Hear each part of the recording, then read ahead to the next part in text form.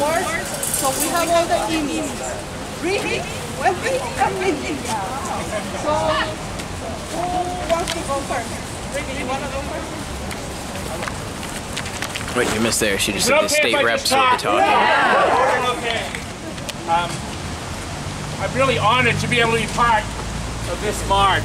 Uh, inspired last year when we set out from Manchester and to see this kind of welcome and to see this kind of solidarity is inspiring.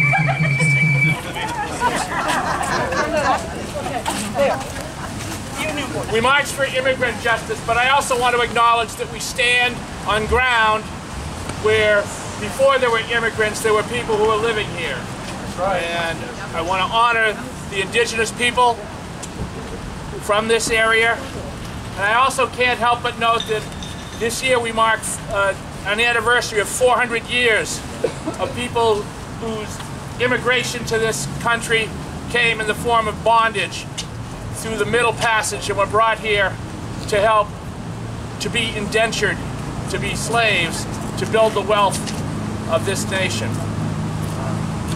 As, this, as someone who comes from the European immigration wave, I'm direct descendant of An Gorta Mór, the Great Hunger. My great-great-grandfather came to Candia in 1847 in the, in, in, and is part of a constant wave of people who have come to this area, to this land, to this, what we call a state, to help perfect our democracy, to help build the society that where we can all celebrate and share in. And as we march now to Dover to stand in solidarity with another group of, of immigrants who are being held by ICE in the Strafford County Jail, I want us to remember our own individual pasts. I want us to stand in solidarity with them, knowing that as we march step by step, we're in solidarity with them and we're also helping to build the beloved community that we all want to be. Thank you. Thank you.